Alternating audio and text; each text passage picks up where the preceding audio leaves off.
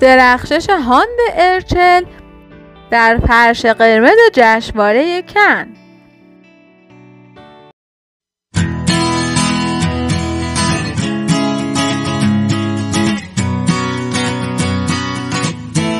سلام دوستان عزیزم حالتون چطوره امیدوارم که عالی باشین.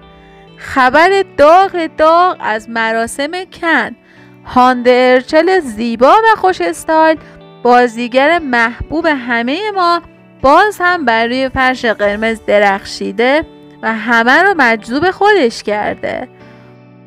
هانده خوشگل با یک لباس قرمز رنگ خیلی خوشگل از برند بالمین این بار درخشیده. حسابی اونجا دلبری کرده.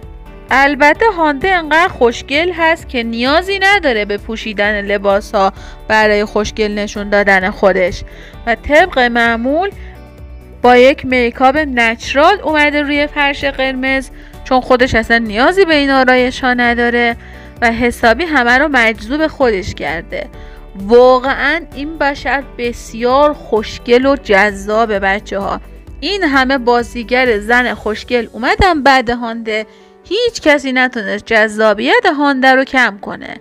البته لاغری بیش از حد هانده یکم مورد نگرانی هوادارانش شده.